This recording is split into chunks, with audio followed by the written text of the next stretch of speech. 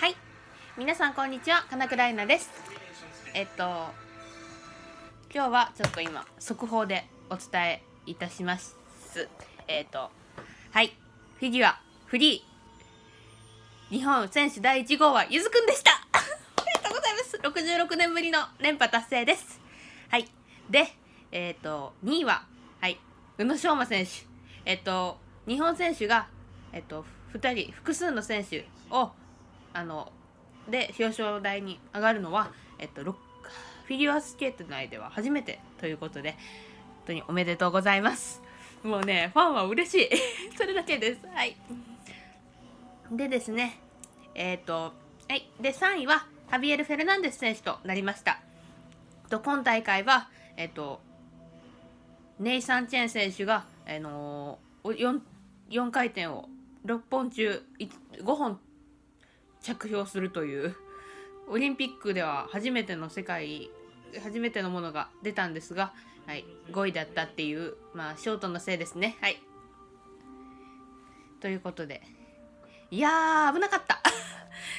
ネイサン・チェンがねショート伸ばしてたらもうぜゆずくんも越されてたからいやー危なかったです。はい。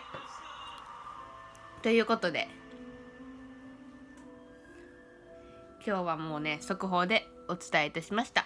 えー、っとですね昨日ですねえっとちょっとクラスメートにおだてられてあのやるって言ったやつなんですがちょっと来週持ち越しになっちゃったんで今日はこれ1本だけになります。えっと短い時間でしたがえっと速報でお伝えいたしました。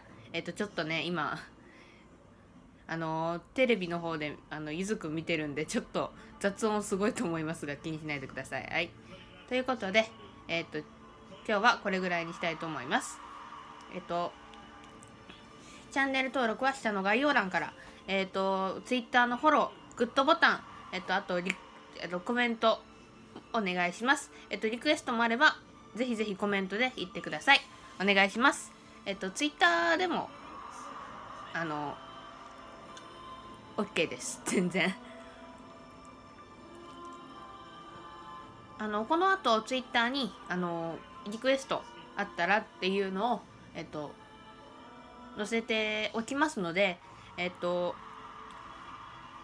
そのその、えっと、コメント欄に、えっと、リクエストあればお願いします。